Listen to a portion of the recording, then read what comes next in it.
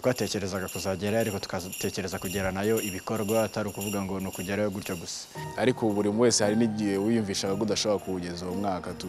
Buri mwana wese aba afite inzozi abana benshi baba barota ngo nzaba umuganga abandi ngo nzaba umwarimu. Ariko ngewe kuva nkiri n'umwana eh, numvaga nzaba ndi umuntu ukora ikintu gitandukanye n'abandi. Ah, navuga ko igihugu cyateye imbere. Igihugu cyateye imbere cyane cyane cyane. Buri umwe wese ara buri umwe wese arabibona bira- bigaragarira buri umwe wese. Yego iyo bakubwiraga 2020 wumvaga ko ari imyaka myinshi ari n'inzozi. Bibiri na makumyabiri ngiye kunabitekerezaga numvaga nzaba nkina mu ikipe ya porofesiyoneri ariko ntabwo byakunze. Bijyanye n'inyito yacu ariko n'amateka nanone y'igihugu n'ahantu twari tuvuye. Ah, ku giti cyanjye ntabwo numvaga ko njye nzahagera.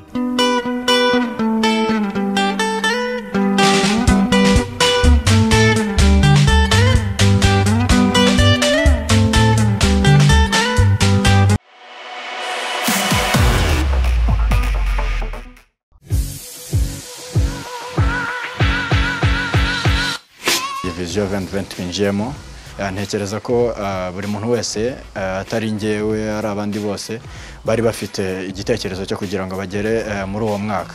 So icyo nibaza rero ni uko buri muntu wese yashyizemo ingufu yarakoze kugira ngo abashe kugera muri uwo mwaka mbese afite icyo ashobora kuba ahagazeho cyangwa kuzayigeranamo ibikorwa. So numva ko rero nagombye gukora cyane ndakora ndakora nkumva ko rero icyo natekerezaga cyose ni ukuba nakina umupira amashuri yagiye ku ruhande. Ayo nize ah, numvaga ko ntashoboye kuyakomeza bitewe n'uko nakundaga umupira ah, nka- nkafata umwanya wanjye nkawuha umupira. So kugeza kuri aka kanya rero numva ko viziyo 2020 nyinjiyemo ah, ndi nk'umukinnyi ah, umukinnyi akina atekereza ko ashobora kuva mu gihugu kimwe yerekeza mu kindi ndetse azamura urwego narabitekerezaga nkumva ko idashobora kuzansanga mu rwanda. Ariko ntabwo ushobora kwicira inzira urakomeza ugakora kugira ngo amahirwe azaze n'iyo nzira izaboneke.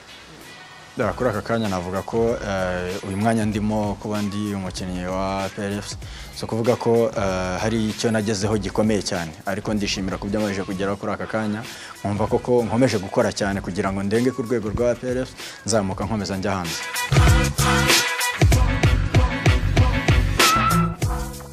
Umwaka wa bibiri na makumyabiri ni umwaka natekerezaga ko ok ntabwo ari njye njyenyine n'abandi bose wenda bumvaga ko hari ibintu byinshi bizaba byaragezweho eh, cyane cyane wenda mu iterambere ry'igihugu- ariko ntekereza ko n'ubundi byinshi byinshi byagiye bigerwaho Ariko buri wese hari n'igihe wiyumvishaga ko udashobora kuwugeza uwo mwaka tu. Icyo gihe nari naratangira kuvuga ko wenda mbigize nka kariyeri ariko nari ndi mu nzira y'umupira. Numvaga wenda nazaba umukinnyi cyangwa se sinzamuba bitewe n'uko icyo gihe narigaga nari ndi umunyeshuri. Ariko wenda nk'umuntu nawe hari igihe eh, wiha nk'intego cyangwa se hari nk'igihe ureba imbere yawe ukavuga ati nko muri ino myaka cumi n'itanu ibura cumi n'ingahe ibura ukavuga ati nzaba narageze kure hashoboka ariko ntabwo njye nabitekerezaga cyane. Naho ndi ntabwo ari habi nta nubwo natekerezaga ko wenda nahagera.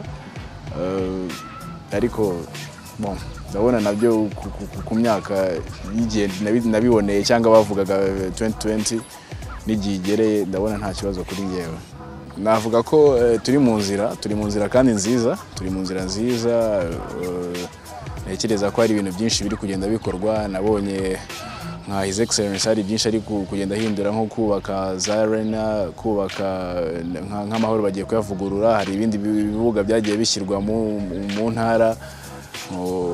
Bigaragara ko hari ibintu byinshi muri siporo byagiye bi- bigerwaho bitandukanye n'indi myaka yari yabanjije. Ntekereza ko mu- muri uwo mwaka tugiye kujyamo no mu wundi mwaka izakurikiraho bizaba ari ikintu cyiza ku- rwego rwa leta cyangwa ku rwego rwanjye nko muri siporo umwana wese agira inzozi.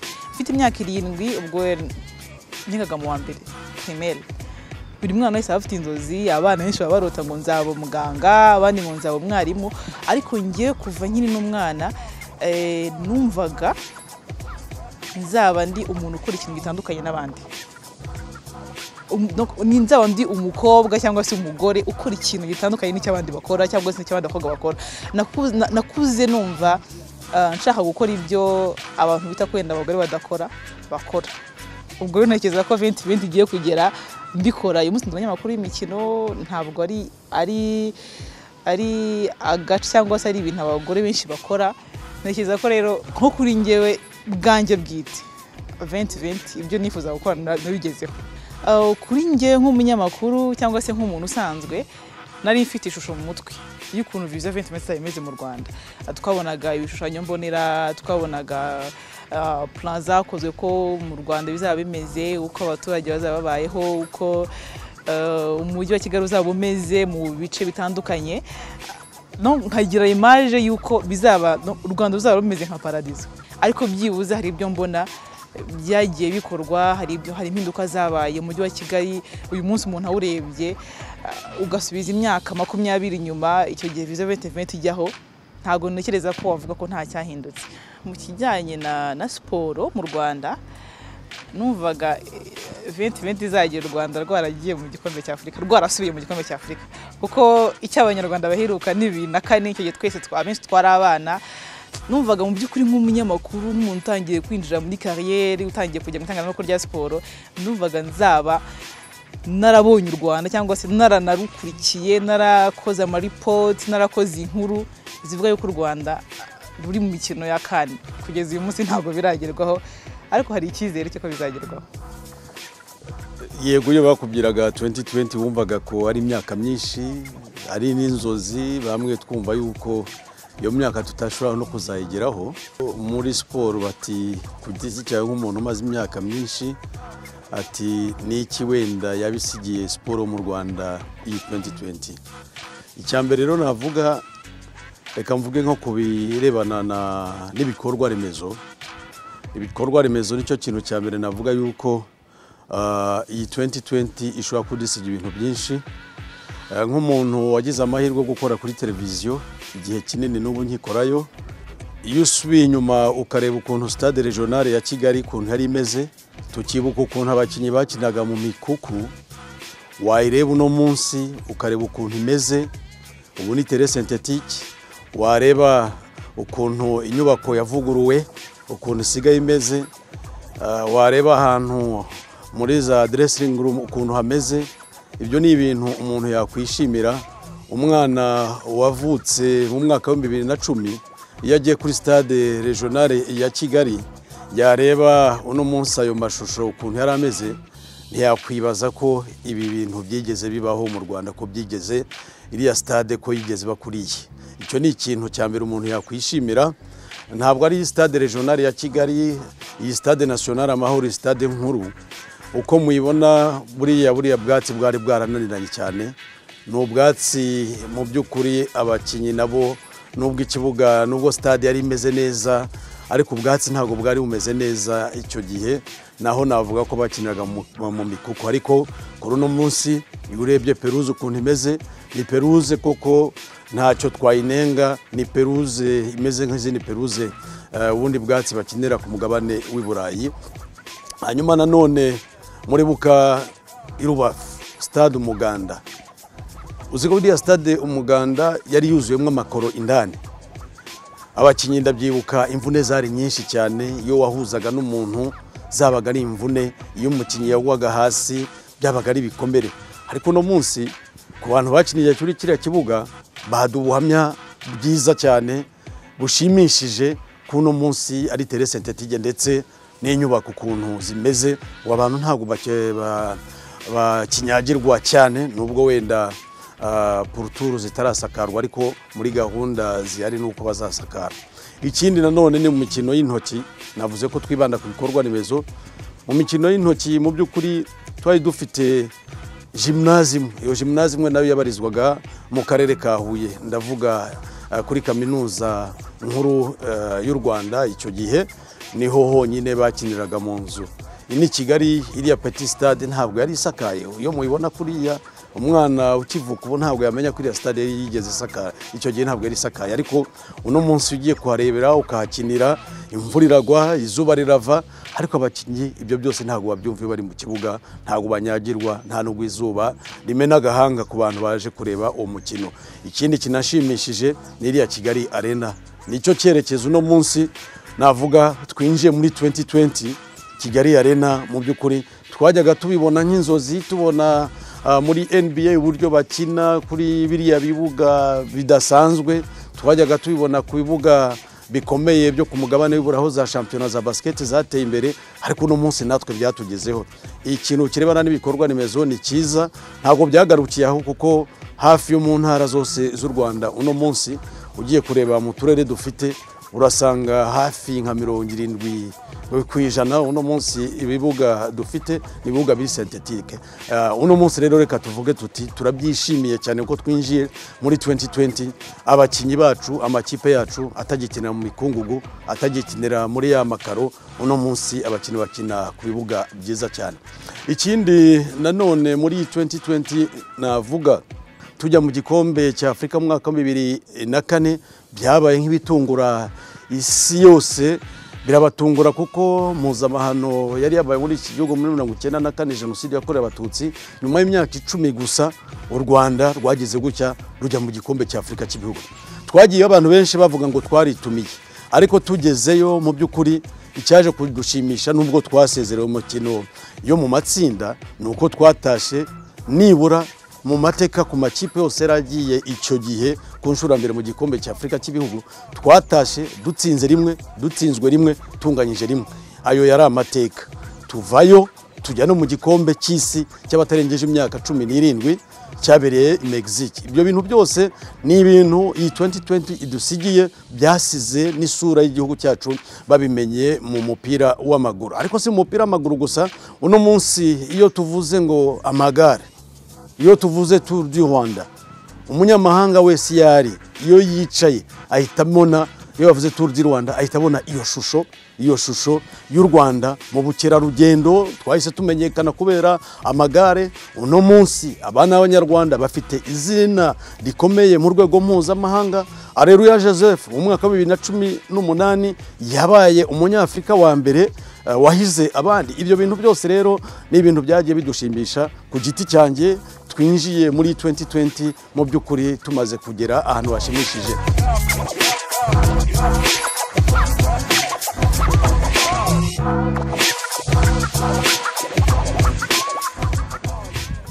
Nishimiye aho ngeze kandi anabishimira imana cyane. Ariko ndi umwana ntabwo nabitekerezaga cyane. Ntabwo nari nzi ko nzaba ntabwo nari nzi ko nzaba ngeze aho ngeze ubu ngubu. Wapi? Naba niraririye. Ariko nari mfite inzozi izo nzozi zose navuga ko nazigezeho nagiye nzigeraho ariko nubwo zitaraba zose ariko naragerageje. Eh, na- nabitekerezaga navuga ko ku- gihugu ah, navuga ko igihugu cyateye imbere.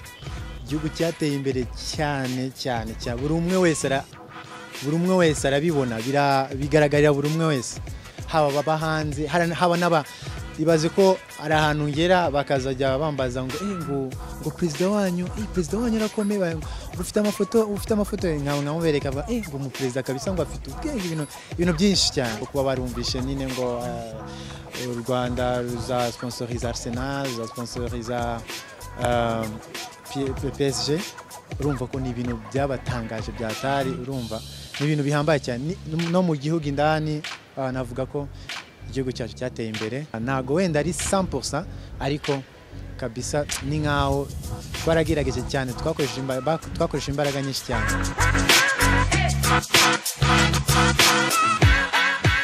Njye ko nabitekerezaga numvaga viza venti venti tuzageramo ariko tuyigezemo.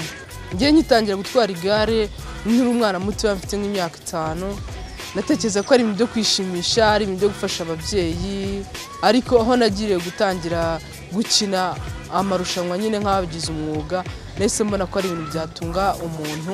Bibiri na makumyabiri ngiye kunabitekerezaga numvaga nzaba nkina mu ikipe ya porofesiyoneri ariko ntabwo byakunze. Ariko ngewe niyo ntego nari mfite kuko numvaga bindimo kandi kuko nari mfite abantu bamfasha abantu bi- b'icyitegererezo nka diriye nka valensi nkumva nanjye nzaba narabaye umuporofesiyoneri nkini burayi rwose nari mfite icyizere nubwo byageze hagati bitewe n'uburwayi bikanga ariko nari mfite icyizere.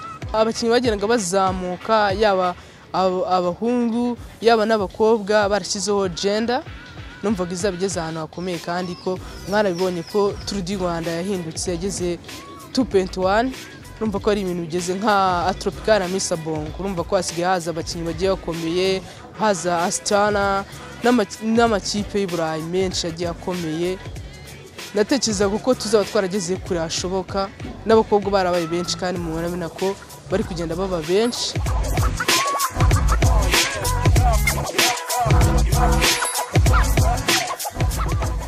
Numvaga muri makumyabiri makumyabiri u rwanda ruzaba rukataje mu mibereho myiza y'abaturage navuga itumanaho ari igihugu gifite umuturage nyine ubona ko bafite gahunda mu byo bakora kandi urabona ko aho tugana biragaragaza ko dufite aho twavuye n'aho turi kugana muri viziyo makumyabiri makumyabiri bigaragara ko tuzagera kuri byinshi byiza. Avuga ko iyo nza kuba ntari umukinnyi nari kuzaba ndi umwe numvaga ko nifuza kuba ndi umwe uzaba nshobora kuba natanga uruhare rwanjye nk'umusanzu mu iterambere ry'igihugu. Urumva rero nk'ubu ngubu navuga ko niba ndi umukinnyi urumva ko indoto zanjye zagiye zigeraho uko nabyifuzagaho ikindi navuga kuba umwaka urangiye hari byinshi nagezeho byiza ariko bidahagije byampaye andi masomo yo gukora cyane. Kongera urugero ndiho nk'umukinnyi wabigize umwuga urumva ntabwo nifuza kugaruka gukina mu rwanda ndumva nifuza kuguma gukina hanze nkakomeza nkamenyekanisha igihugu cyanjye. Narangiza mvuga nshimira nyakubahwa perezida wa repubulika ko adahwema kudufasha kudutera ishema mu byo dukora natwe tukumva ko tutagomba guhagarika guhagararira igihugu cyacu murakoze.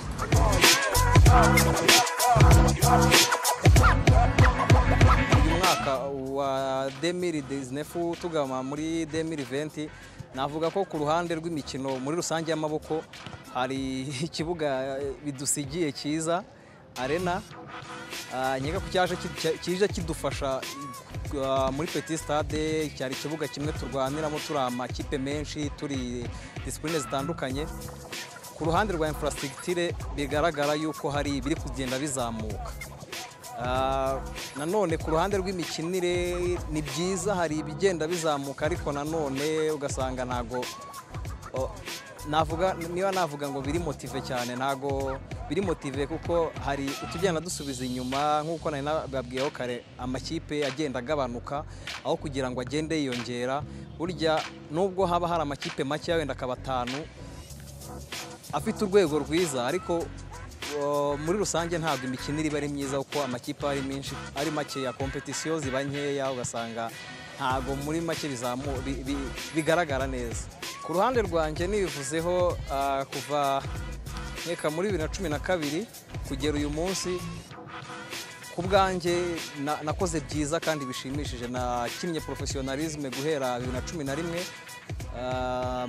nsa n'uyisoza gukina hanze nsa n'uvayo muri bibiri na cumi n'umunani bibiri na cumi na karindwi bibiri na cumi n'umunani urumva hari imyaka myinshi na itandatu hafi irindwi nakinnye hanze. Ku bwanjye navuga ko cyambereye cyiza kuko nabashije kugerageza ibyanjye tara yanjye nyikoresha neza kandi na n'ubu nubwo nkuze ndacyagerageza guhangana n'urubyiruko ruri kuvuka muri iyi minsi.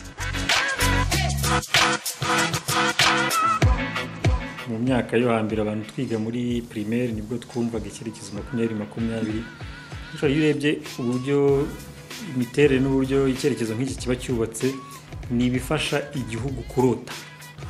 Bifasha igihugu kurota bifasha buri mwene igihugu kwiha intego no kugira ngo aharanire kuyigeraho.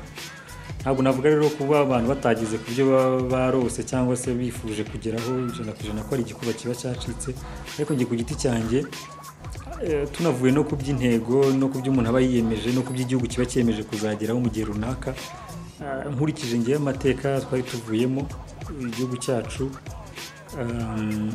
urebye ukanaganira n'abantu bakuru wabonaga ko abizeraga ko tuzagera makumyabiri makumyabiri bari bakeya. Kuko kera nkiri muri segonderi nafunguraga radiyo ngiye kumva urubuga rw'imikino. Muri ngiye hagahita hazamo ikintu cy'uko mu gihe kiri imbere mu myaka iri imbere ni byo uzaba wicaye kuri mikoro bari kunyumva. Nibyo uzaba wicaye kuri televiziyo bari kundeba. Nibyo uzaba ufite ikaramu ndi kwandika bari gusoma. Ntabwo navuga ko nazikabije ijana ku ijana wenda hari urwego ntagezeho nifuzaga ariko ngiye ku giti cyanjye kugira urwa mirongo irindwi mirongo inani ku ijana nazigezeho. Kuko nabashije kuva mu ishuri ndi umunyamakuru eh, ku bitangazamakuru nifuzaga gukorera. Um, kandi mba umunyamakuru eh, reputation numvaga ushaka kugira nk'umunyamakuru narayigize. N'ubu ngubu ngira ngo ni kimwe mu byamfashije no kuba ndaho ubu ngubu njye rero ku giti cyanjye ninjiye mu cyerekezo makumyabiri makumyabiri ku rugero rwa mirongo irindwi mirongo inani ku ijana. Inzozi zanjye nari mfite narazikabije. Mu rwego rwa siporo mu rwego rwa siporo iki cyerekezo makumyabiri makumyabiri nubwo navuga ko inkingi zari cyari cyubakiyeho ntabwo siporo irimo cyane mu buryo bu- bw'umwihariko ariko hari aho izamo. Hari aho izamo mu bijyanye n'ibikorwa remezo igihugu cyari cyiyemeje kuzagera muri makumyabiri makumyabiri gifite ibikorwa remezo byiza byo ku rwego rwa mbere ku isi. Ntekereza ko makumyabiri makumyabiri nubwo tuyigezemo tugifite ubushake na leta ubona ko ifite ubushake bwo gushora imari nyinshi mu bijyanye n'ibikorwa remezo kimwe mu byo twakwishimira bike abasiporutifu eh, tubashe kugirana muri iki kinyejana cya makumyabiri makumyabiri ni ibikorwa remezo. Ariko noneho ngira ngo igisigaye gushyirwamo imbaraga ni uko ibyo bikorwa remezo turushaho kubibyaza umusaruro. Kuko kubigira ni kimwe ariko se twabibyaje umusaruro ku rugero rungana gute? Byagize uruhare mu guteza imbere impano z'abana b'abanyarwanda mu buryo bungana gute? Ngira ngo ibyo byaba ikindi kiganiro. Ibindi byose byo sinabigarukaho kuko muri iyi myaka nka makumyabiri n'ingahe ishize u rwanda rwihaye icyerekezo makumyabiri makumyabiri mu rwego rwa siporo hagiye habaho ups and downs. Rimwe ukabona dufashe umurongo turi hafi gufata umurongo mwiza ikindi gihe ukabona ibintu bijya bisiba inyuma. Not- no selma muri disipurine ya football no muri disipurine zose ya siporo so ntekereza rero ko ni byo ahubwo noneho abantu dukwiye kurebaho. Kuki tugeze muri makumyabiri makumyabiri imyumvire ikiri ya yindi imiyoborere imicungire muri siporo. Bikiri bya bindi. So ndabifuriza umwaka mwiza rero abanyarwanda bose. Bazawurye ntuzabarye niko bajya bavuga mu kinyarwanda. Ku banyamakuru bagenzi banjye duhuje n'umwuga perezida wa repubulika ndamwifuriza umwaka mushya. Abasiporutifu muri rusange bose. Mbifuriza kugira umwaka mwiza no kutangira neza kandi bakazagiramo ishya n'ihirwe